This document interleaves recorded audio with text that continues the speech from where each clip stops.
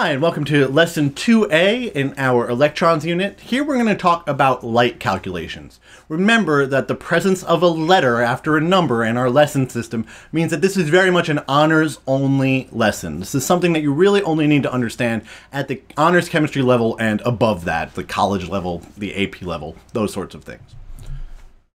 So let's go back and look at this notion of how light is produced. We learned in our first discussion on light that light was produced from the transition of electrons from the excited state back to the ground state. Electrons will absorb quantized amounts of energy, move into the excited state, and then transition back to the ground state very quickly, releasing particular photons of light. So electromagnetic radiation is made of photons and photons travel incredibly fast. The speed of a photon in a vacuum is 3.00 times 10 to the 8th meters per second. This is a constant. It's defined as c, and it is given to you on your honors reference tables. It's the speed of light in a vacuum, something you've probably seen before at different places in your life. Remember from our discussion of atomic models that photons can be thought of as both particles and waves. Let's focus on the properties of the wave. We're really interested in three major properties of waves when we consider photons. We're interested in their wavelength, we're interested in their frequency, and we're interested in their energy. Wavelength is defined as the distance from one point on a wave to the same point on the next wave. Electromagnetic waves have a huge variety of wavelengths. Radio waves can have wavelengths that are many thousands of meters long, and things like gamma rays have wavelengths that are trillionths of a meter long. So we go from the incredibly tiny wavelengths up to the incredibly large wavelengths. If you remember, visible light have wavelengths that are on the order of hundreds of nanometers in length, or 10 to the negative 7 meters. Frequency is defined as the number of wavelengths that pass a point in space per second. And again, we see a huge diversity in electromagnetic waves. So radio waves have a frequency of 10 to the 4 hertz. What this means is that roughly 10,000 radio wavelengths will pass a particular point in space every second. Something like gamma rays have a wavelength of 10 to the 20 hertz, which is a huge, huge, huge number of wavelengths that pass a particular point in space every second. When we're considering the mathematical relationships that matter in electromagnetic radiation, we're really interested in the relationships between wavelength, frequency, energy, and speed. Specifically, as wavelength increases, frequency decreases, and vice versa. This is the classic inverse relationship. But as frequency increases, the energy that the wave brings with it also increases. This is the classic direct relationship. And of course, the speed of any wavelength of light is constant in the medium in which it's suspended. So in a vacuum, which is really the only thing we care about for our purposes, that speed is always going to be approximately 3.00 times 10 to the 8th meters per second, an incredibly large number. The mathematical relationship between wavelength and frequency for electromagnetic radiation can be stated as follows. The formula is given to you on your honors reference table. The product of the frequency times the wavelength is always going to equal the constant value of the speed of light. Using this, we can analyze the frequency and the wavelength of any particular photon of light if we really want to. Let's try a problem that does this. This is in our Unit 5 packet on page 10.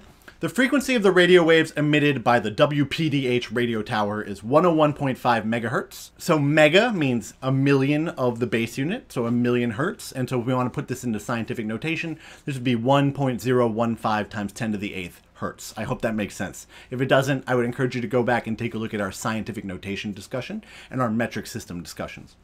What is the wavelength of those radio waves? Pause the video and see if you can do this on your own. And then when you're ready, let's go through it together and talk about how we solve it.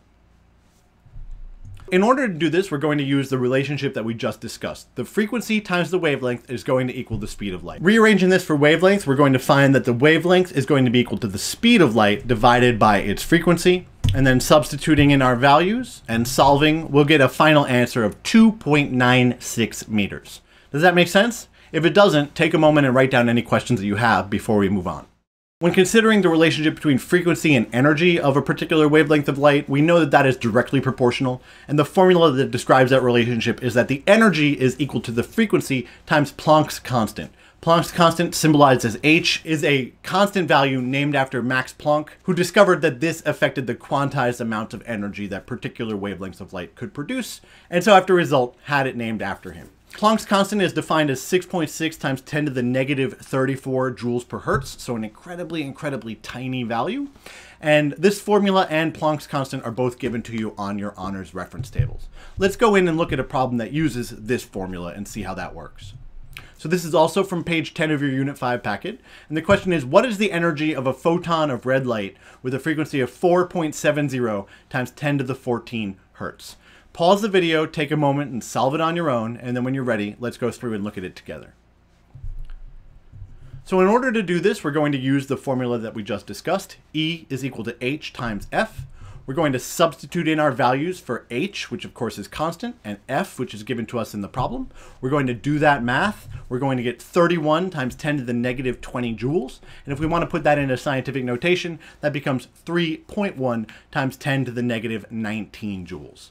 Does that make sense? If it doesn't, take a moment, write down any questions that you have, and then when you're ready, we can move on. Thanks so much for watching this video on light calculations. Please make sure that you can do the following things here at the end. Make sure that you can explain the relationship between wavelength and frequency of any photon of electromagnetic radiation. Also make sure that you can explain the relationship between energy and frequency of any photon of electromagnetic radiation. And finally, make sure that you can use the equations that we've discussed in this presentation to solve for any of the variables and relate them to the overall electromagnetic spectrum. For instance, if you figure out the wavelength of a particular photon, can you tell me where in the electromagnetic spectrum it falls if I give you the electromagnetic spectrum? If you can do these things, you're doing great. If not, that's okay too. Take a moment and write down any questions that you have. You can always leave them in the comments below the video or get in touch with me through the information in the info field. Thanks again for watching. I really appreciate it. Have a great day.